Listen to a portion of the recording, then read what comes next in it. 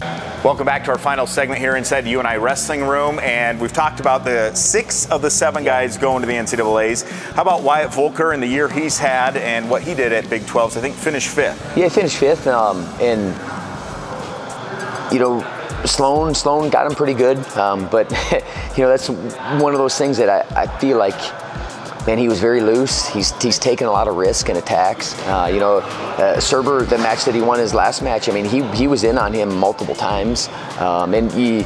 I don't know, and I growth. I keep saying it over and over again, but I can't. It, when you have a freshman, you can't you can't replicate those reps or that without actually putting them out in the fire, so to speak. And um, you know, you got him and Downey and you know Anderson. We had three freshmen that were in the lineup, and just kind of the energy they bring. But man, he's always smiling, having a great time, um, and he's gotten bigger and stronger. And he's going to be an, any guy that I, we put out there. They're going to be a tough out for anybody.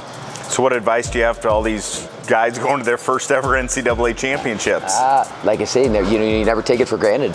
You're grateful for the opportunity, and you go let all that work shine. I mean, those are the things that we we stay focused on because there's certain things you can that you can control. There's certain things you can't. Yeah. And you know, in this moment, the noise can kind of get to you a little bit because there's all the buildup, there's all this other BS, and and really, it's still a wrestling match. It's 420 seconds, and you know, think when you can smile and enjoy that, I think you make the best of it, and you change you change as little as possible, and that's what we'll tell those guys. I like Kansas City, close yeah, I mean, to Cedar Falls. No, it's awesome. You know, I mean, uh, you know, five hours we can be there. I know we'll have a lot of fans there. I know, um, you know, for our guys, it's nice. It's nice to you know, to be able to, you know, we'll get in, we'll get in middle of the afternoon. You don't have to worry so much about a flight and all those things that could go wrong. But our team, from day one, they've managed this year incredibly well. They've handled every obstacle as well as they possibly could, and it's made them better. And you know, I'm looking forward to this NCAA tournament and scoring a whole lot of points. We're looking forward to that and recapping it with you in a couple weeks. Thanks, yeah, Coach. Thanks, appreciate All it. right, that'll do it for this week's edition of Panther Sports Talk.